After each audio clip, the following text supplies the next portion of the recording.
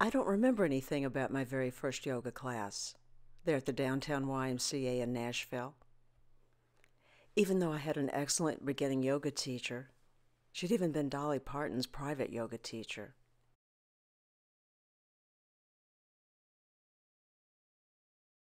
I don't remember a thing about the class, except there was a guided relaxation at the end, and I remember thinking afterwards, this is the first time in my life I ever recall feeling relaxed and energized at the same time.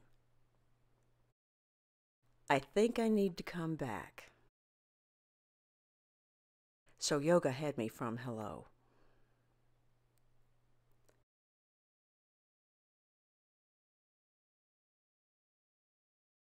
The sun salutations that you're watching me do here became a powerful form of stress relief at a time in my life when I desperately needed it.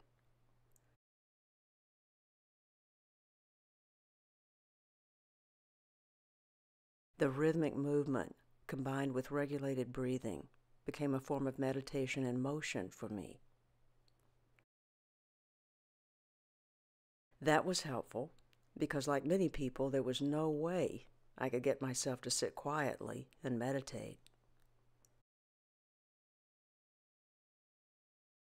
But I had no trouble doing yoga.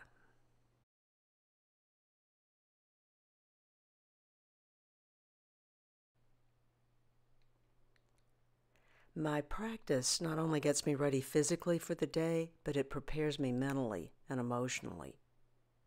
So I have a better chance of being fully present with the people around me. It's simply a different day when I do this practice versus when I don't.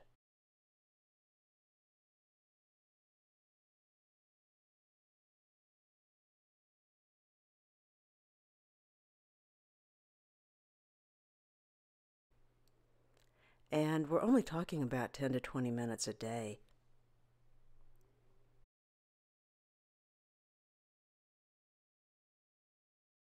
Eventually, this meditation and motion practice of yoga made it possible for me to sit quietly and begin to meditate.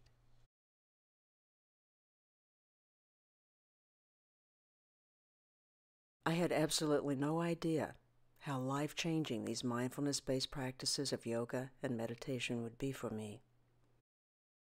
Not just personally, but also professionally.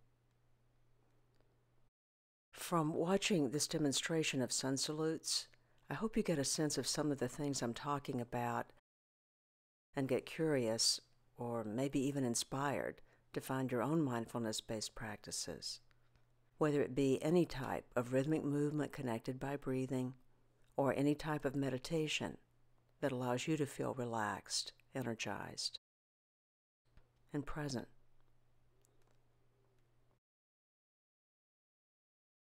Let that keep happening regularly, and before you know it, you'll also begin experiencing more peacefulness, more contentment, and even better relationships. I've never found anything quite like these mindfulness practices, and I'm deeply grateful to have discovered them. To the many friends, teachers, and students that have helped me along the way, I'd like to say thank you very much and namaste. The light within me honors the light within you.